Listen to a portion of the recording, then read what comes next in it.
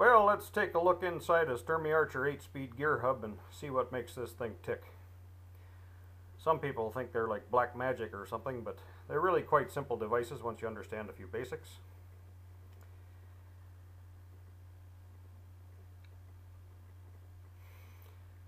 Here's the unit out of the hub shell.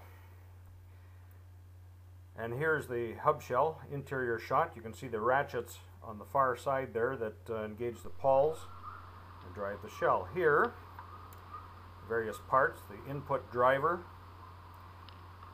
which is in direct connection with the first stage, planetary gear stage, which is hidden by the second stage ring gear. The second stage planetary gear set is partially covered by the third stage ring gear. And a third stage planetary set is covered by the final drive output ring gear, which is part of the same unit that houses the output drive pawls. Spring-loaded pawls that transmit the power to the ratchets inside the hub shell and propel the bike forward.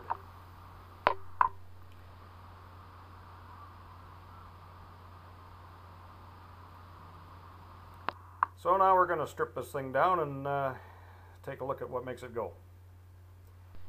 So here we have the bare axle. We have a shifter connected.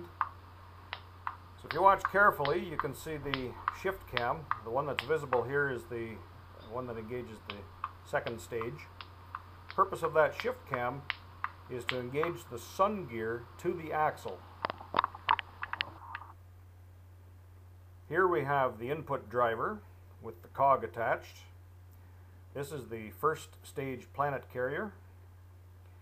It connects directly to the input driver. This is the second stage showing the planetary side and here is the back of it showing the ring gear. That ring gear meshes with the planetary gears on stage 1. Okay, here we have stage one and the driver assembled on the axle. I'm going to show you what happens here with the, uh, the sun gear disengaged from the axle. It is free to rotate with the planetary carrier. And when that happens, the planetary gears do not rotate. They simply are carried along with it. They don't come into the action at all. So first stage drives the second stage ring gear by means of the spring-loaded pawls at a one-to-one -one ratio.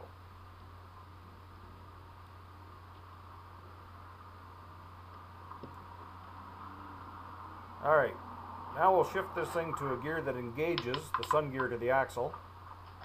We'll go for fourth gear. Now, the sun gear is affixed to the axle. When we turn the input, now the planetary gears rotate about the sun gear. And when they're meshed with the ring gear on the second stage, they will actually overdrive the second stage at a higher ratio.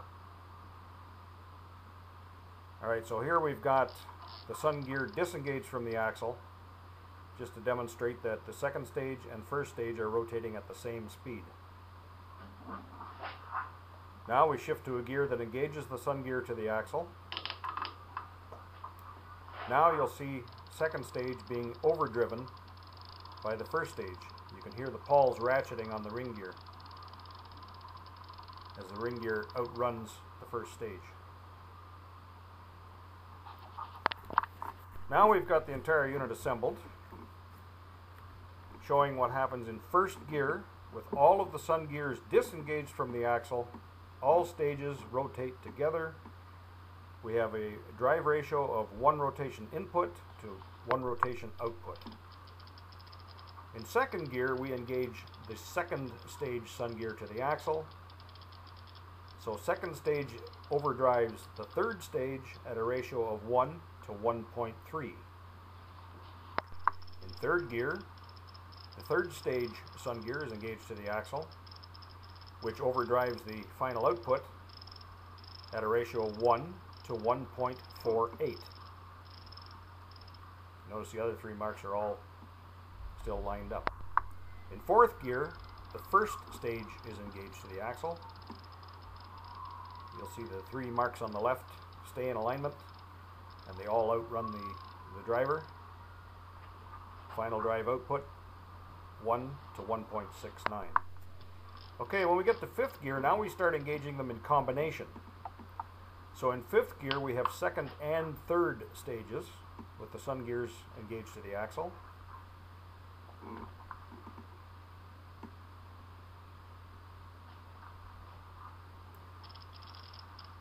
So if you watch, you'll see third stage outrunning second stage and the final drive outrunning third stage. The input driver and stage 2 turning together. Final drive output 1 to 1.92. Sixth gear engages the first and second stages.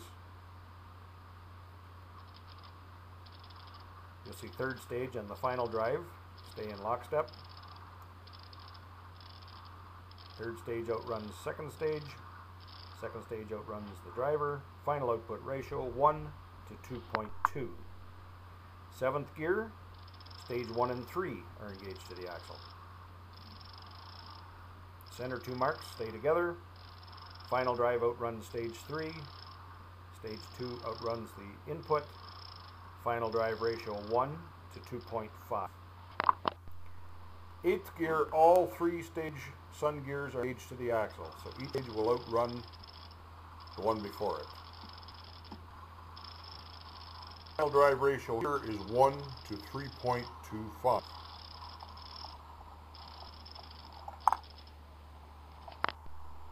Here we'll watch carefully as I rotate the input one revolution. You'll see the output revolve once, twice,